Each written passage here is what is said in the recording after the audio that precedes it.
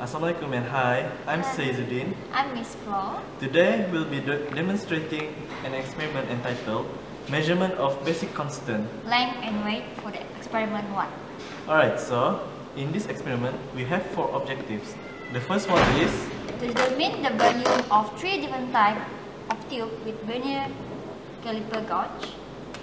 the second one is to determine the thickness of wires, cubes, and coins using micrometer screw gauge. The third one is To determine the thickness of the plate and the radius of the curvature of watch glasses with the spherometer. Alright. And finally, to determine the weight of different coins using manual precision balance. So here are the coins, right? Alright, shall we start? Yes. Okay, so we shall start with the first one, which is to determine the volume of tubes using The vernier caliper. Ah. So, for the vernier caliper, there are a few parts that we need to know, which is they it have two jaws. This is to measure the inner inner diameter, and this one is to measure the outer diameter. And then it have two scale, which is the main scale and the vernier scale. Okay, so let's measure the this tube.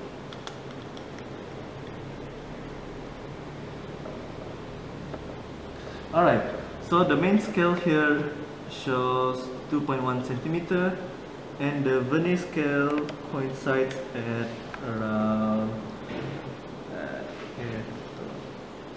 Let's see, 1, 2, 3, 4, 5, 6, 7, 8, about 8. So the so the reading here shows that the thickness of the tube is 2.18 centimeters. Okay? Okay. So shall we proceed? Yes. Alright. So the second objective is to determine the thickness of wires, cubes, and coins using micrometer screw gauge. Alright. So you need to know the parts of micrometer screw gauge first. Okay. So in this instrument have anvil, spindle, uh, main scale, vernier scale, thimble, and ratchet knob. Okay, I will demonstrate to you how to determine its thickness of wire. Alright, so just put the sample here between anvil and spindle, and then turn the thimble. Okay, just turn it. Okay, and then when you when it's getting close, turn the ratchet knob until you hear the click. Yeah, here's the click. Alright, so we have we have The reached the desired thickness. Okay, so what is the reading here? The reading is 0 0.5. Okay. So the main scale here is 0.5. How about the vernier scale? The vernier scale is 10. Okay. Uh, So the total is okay, so the total here is 0.5 plus 0. the 10 or 0.1 which is 0.6 so the thickness of this wire is 0.6 millimeter observe all right so let's proceed with the third objective okay all right so this is called spherometer. It consists of the static legs, there are three static legs, and one movable leg in the middle. And then the reading here is shown at the dial gauge. Alright, so before we use spherometer, we, we must make sure that this spherometer is free from zero error. So to calibrate it, first we put it on flat surface. Alright, just put it. Okay, and then turn the dial gauge until until the until the arrow points at zero. Okay, let's see so turn it. Okay. Turn it turn it turn it. Okay. So it should reach zero. Okay. Okay just a little bit more and here. So it's about zero error. Don't worry if it's not precisely zero. Okay. So we have calibrated it now and now we can measure the thickness. So let's take this watch glass. Okay. Thank you. Okay. So just put this spherometer on top of this watch glass slowly. Okay. Alright so as you can see alright so as you can see the arrow moves clockwise so we have to take the readings in black okay and also I would like to point out that there are two arrows here the smaller one repre represents reading for whole number while the larger arrow represents reading for two decimal places.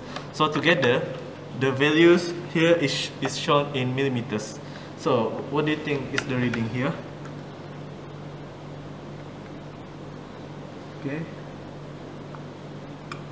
I think uh, I think it exceeds zero. Yes. So the whole number is okay. So I think the whole number exceeds 0 so the reading for whole number exceeds is 10. 10. How about the larger arrow? Where does it point? It's about what do you think 3.3? 3.3 or 3.2 okay so 1 2 okay so the reading here shown is 10.32 millimeter so the spherometer shows that the thickness of this glass watch is 10.32 millimeters. Right? okay. Okay. So we, we also need to calculate the radius of curvature. So this is the value for H. For the value of A, just take the ruler and measure the two points here. Okay?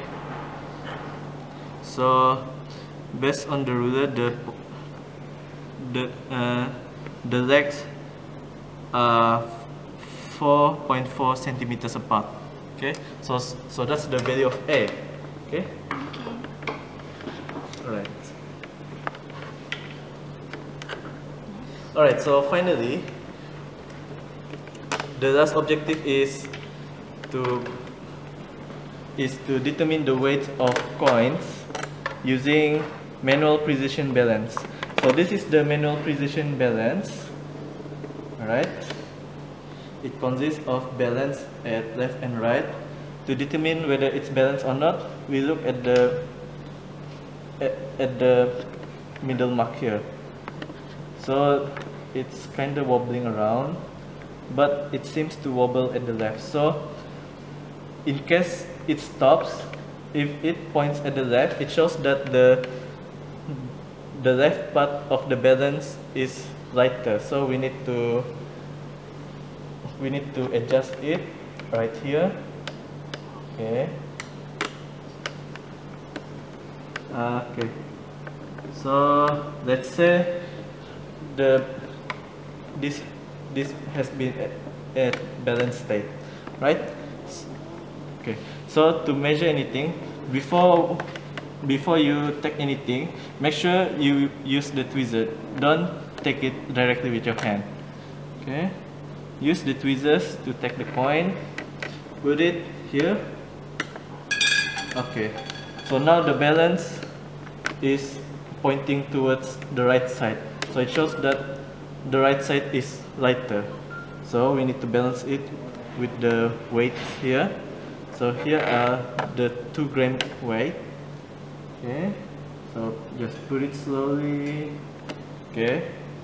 It's still light at the right side.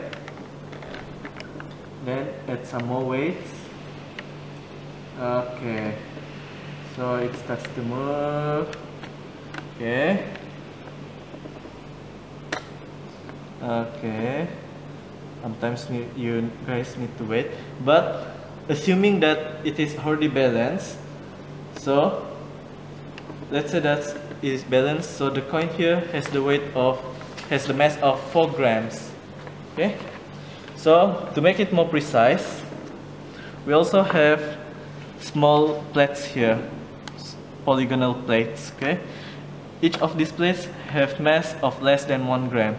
So if you put it here and then it's balanced, then you will need to measure the, the weight of these plates using electronic balance. Okay. Okay, next is the appendix of the experiment. So in this experiment, we have four objectives. So for the first objective is you need to measure two different tubes, tube 1 and tube 2 with the height and diameter and have a 3 reading and finally you take the average reading.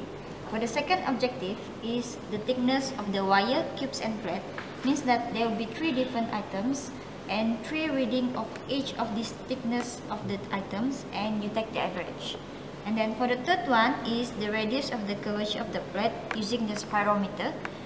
So you have two plate, big and small plate where their surface of concave and convex means top and bottoms of the plate and you will be reading A and H value for three readings and you take the average. Okay, Alright, so in order to calculate the radius of curvature, here is the formula where r equals to a square plus h square over 2h.